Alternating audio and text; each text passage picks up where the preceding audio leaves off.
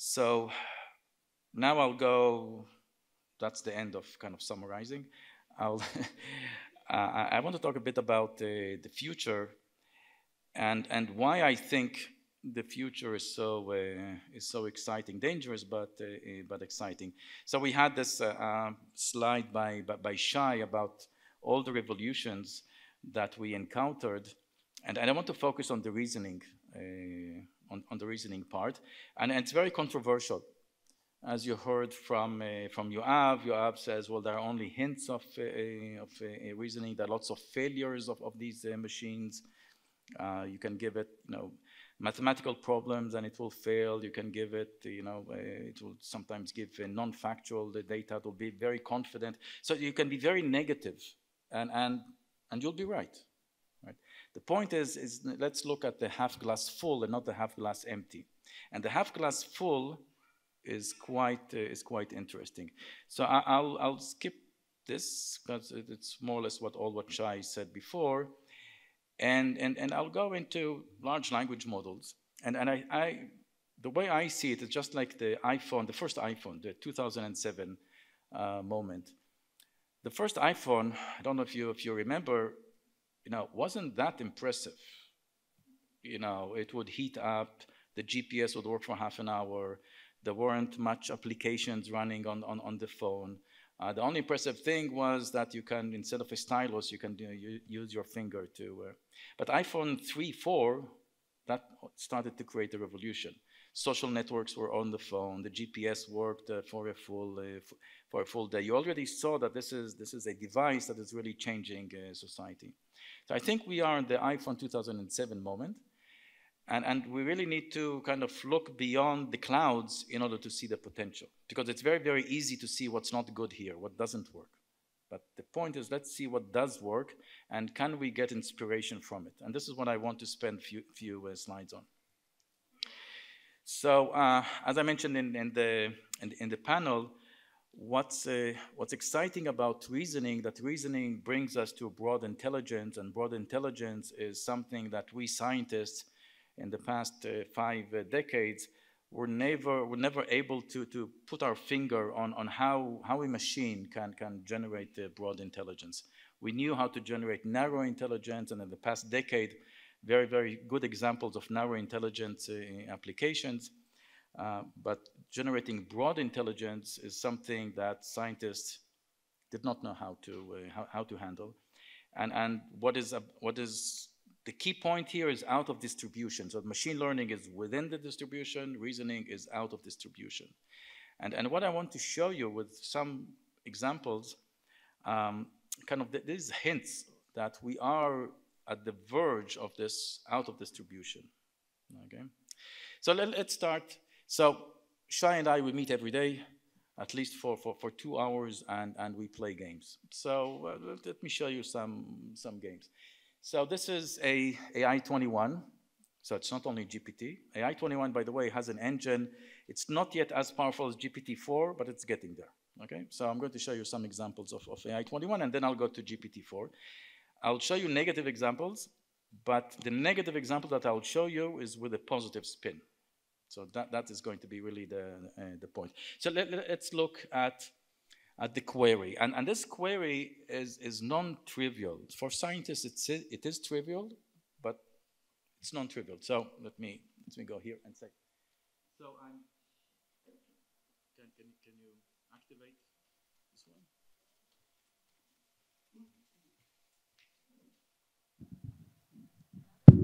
Okay. So uh, uh let, let's look at the prompt above. And I'll read it because the, the, the font is small. So next I will define the function t. t receives a string of n letters and outputs true or false. Let the substring from letter 2 to n minus 1, let's call it uh, w. If the first and last letter are equal, then apply t on w. So clearly we're talking about a recursive, but I didn't say the word recursive here, right?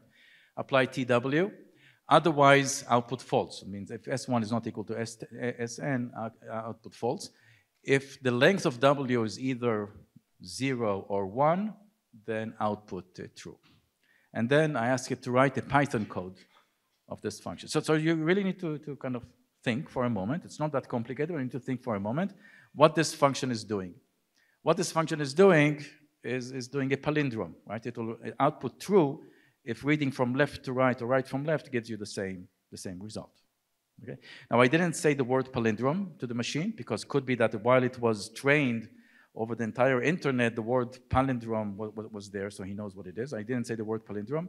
I didn't say the word recursive, right? We all understand it's recursive, but I didn't say the word recursive. And the Python code is correct. And then I asked it, uh, you know, ABBA is true or false, and it goes through the, the steps correctly and outputs it true. So I'm not saying this is a genius, but it is a, a, a non-trivial uh, a non-trivial uh, prompt uh, with a successful with successful answer. Let's go to another example. This is um, this is from a uh, paper from uh, Microsoft on GPT-4. Okay, so I, I, tried all those examples that they mentioned in the paper on AI on, uh, on AI 21, and, and the majority of them works uh, very very well. So let's say we have a book, carton of eggs, a laptop, a bottle, and a nail. Please tell me how to stack them onto each other in a stable, in a stable way. So th this is non-trivial. You need to understand how the objects look like. You need to understand their weight. You need to you understand their geometry, right? And it, it does the, the, correct jobs, right? Place the laptop on top of the book, place the carton of eggs on top of the laptop, bottle of water on top of the carton of eggs, and the nail on top of the butter. And it said it should stable as the heavier items are on the bottom, the lighter items are on top. Again, I'm not saying it's a genius, but it's non-trivial. Let's take another, another step before we go to the negative examples. Um, so here's a conversation between Mark and, and Judy. Mark, I don't like the way you treated Jack last night. Did you see what he was doing? So he refers to, uh, uh, to Jack, right? He hit his brother on his head. And then the question is, what does Mark's intent seem to be? Give a detailed answer, and the answer is correct. What did Jack do? The answer is also uh, uh correct. So there is a non-trivial kind of logical uh, uh reasoning uh, going on here in order to answer this question. Now, let's, let's, let's go a bit deeper and, and fail. But I'm going to give a positive spin to this failure, other, which is different from anyone else. Everyone else, ah, it's, failure, it's failing, therefore it's not intelligent. Let's look at this uh, example. This example is quite tricky. It's from an IQ test. Okay, so let's read it. Three women sit in a waiting area with three pets. The names of the women are Mary, Karen, and Jane. The pets are dog, cat, and rabbit. It is given that the owner of the cat sits in the middle. It's also given that Karen sits next to the dog owner. Can you write a Python function that lists all the possibilities of who sits where and who owns what? You really need to think about this, right? and, and, normally you'll need a, a, a, pencil and paper to write all the permutations and think about it. You cannot just on top, unless you are a super genius, on top of your head list all, all, all the possibilities. Right? You need to really need to think about it. So let's see what the Python code looks like. So this is, by the way, this is GPT-4.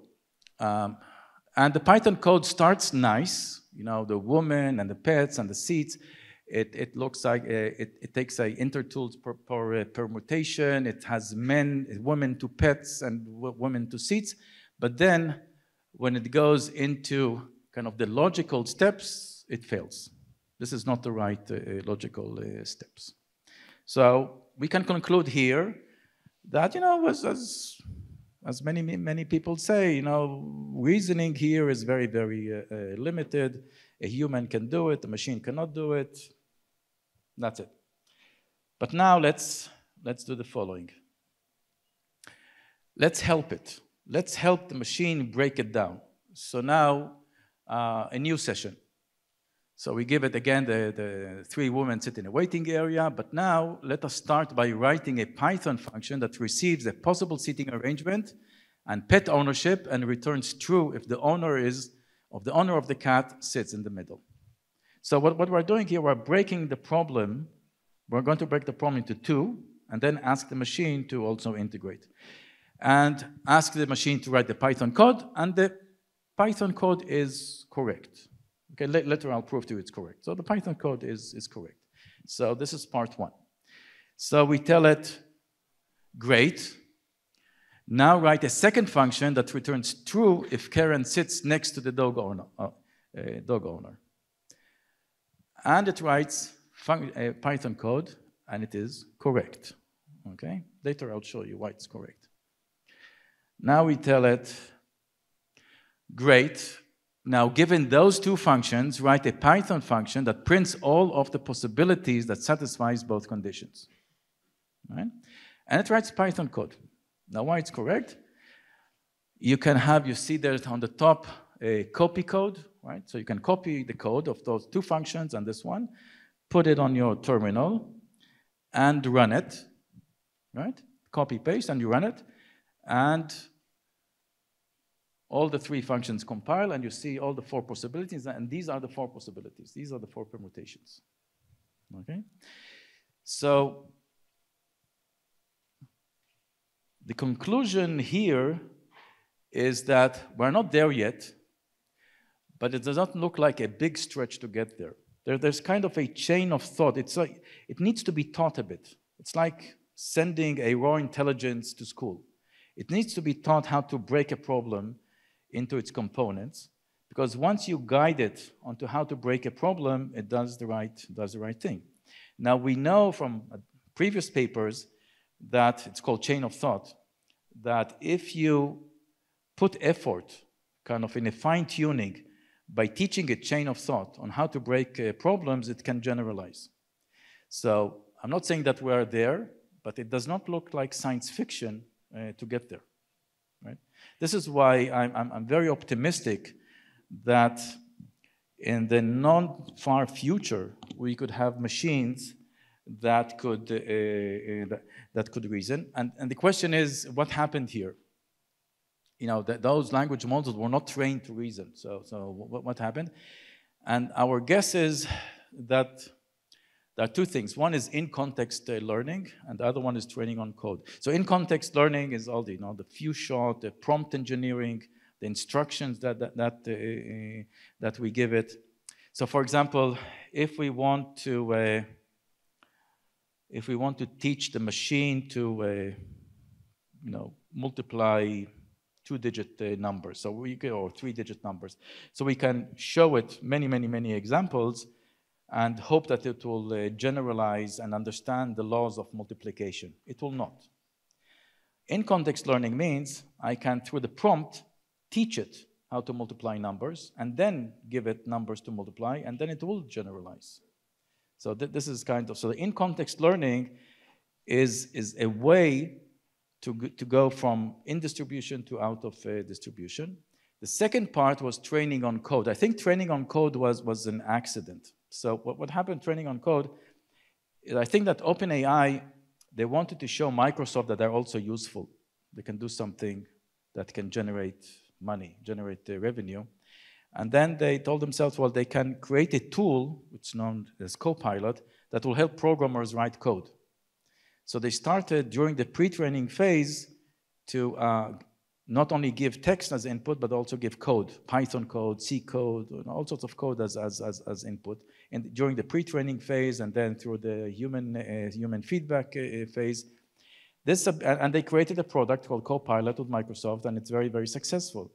The byproduct of it is that the machine learned how to translate things into formal, into a formal language. In many cases, when you ask the machine to answer a complicated question and it will fail, if you ask it to write code, in many cases it will succeed writing code better than answer, answering the question. And, the ability, because code is a formal language that can represent any complicated reasoning uh, case. I think without training on code, we wouldn't have seen those uh, success, uh, success stories. So those are the two things that I think explain uh, where, uh, where we are. So now uh, let's go about this a dangerous AI. I'm not going to repeat what, what we said in the panel, but I think if we say, can large language models be aligned? I mean, can we, can we create a safety net around them? Uh, this uh, paper my students, by the way, I'm going to present it at the CS colloquium in June 20 or 22. It's a Monday, I don't remember. Um, so I'll provide, so whoever wants to know more about this? So the answer is no, they cannot be aligned. Okay, so so you, you, you, you cannot tame the machine. The second answer, the second is, is a kind of uh, self-driving cars. Can they be aligned? The answer is yes. This is what Shai told you about in his, in his talk. Uh, third, the AI alignment problem. Can AI in general be aligned? The answer is no. Okay, this is what Shai talked about um, at, at, at, the panel. It's a paper in the 20, it, it, it, three years ago. Uh, you can find it in our uh, websites. So where do we go from uh, here? And uh, this is the last uh, slide. What can society do to mitigate? So the first thing that we can do is limit the intelligence. Right? This was the petition of six months ago. Let's stop with GPT-4, not go beyond GPT-4 for six months. Why? Because I, Elon Musk, I want six months to catch up. Right? So, so limit the intelligence, have all language models be lesser or equal to GPT-4. That's not a good idea because if you limit the intelligence, a neighboring country would not, and he will be left behind, right? So it's a, so that, that's not a good idea. Use human feedback to tame the machine. This is exactly what I told you before. Uh, you cannot guarantee alignment no matter what you do, you can always trick and manipulate the, uh, the machine. Reinforcement learning in the wild, so interacting with humans while optimizing a reward function. The example I gave you with the IQ uh, test and, and the paper that, that we wrote. I think there, there is a room for regulation that interacting in the wild with humans while optimizing a reward function is something that has to be done carefully. And, and there is room for, uh, for regulation here. Um, cybersecurity for AI. I think just like with the humans, we limit access of humans. I, I cannot go to NSA offices and read their, um, you know, secret uh, material, right? We, we limit humans. We have firewalls around humans because humans are bad actors. they can do all sorts of stuff, right? So in order not to create anarchy, we limit humans. There's no reason why an AI would have access to our uh, water pipes or have access to electricity grid or have access to all sorts of things that could create uh, damage. So it's like cybersecurity. You have here an actor that if it has access to infrastructure could create a, a big problem. So the challenge would be not to limit the, the intelligence, but to make sure there are guardrails in terms of access to infrastructure I'm saying it's tricky because if the AI is very, very intelligent, it may find a way, no matter what you do, in order to reach that infrastructure. But again, that could be a challenge. It's a problem to solve and not go and limit the intelligence because that is not, uh, is not practical. Once, once the genie is out of the bottle, you cannot put it back into the bottle. Once there is a path towards building machine intelligence, you cannot stop it. If you stop it, a neighboring country would not stop it, you will be left behind and, and you'll be the fodder for the next, uh, for the next uh, uh, revolution. So I think uh, this is what I wanted to, to say. So what I wanted to say here is that, you know, the interface with the humans and computers, I, I believe that we're going to a fundamental uh, change. We all see that in writing code, writing content, uh, summarizing large amount of text, more efficient uh, search. Our, our, interaction with computers is undergoing a major, major change. Uh, you know, a machine is becoming an assistant. It will make mistakes. You cannot tame it. It can be manipulated, but it will still be, uh, still be useful. But I think the big thing is the rise of uh, reasoning.